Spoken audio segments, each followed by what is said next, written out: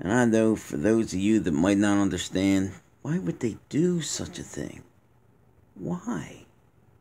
Well, I've spoken before about LeBron and how he wasn't living up to anything. That's why even in Miami, those first two championships were bull. Even getting there was bull in Miami. The East was weak. That's why they got there this year. But they want LeBron to be the savior in Cleveland. I'll bet you they all sat down in a room and said, LeBron, if you go back, we'll make sure you win. We promise. Making him a savior. They are making him a savior. He is not.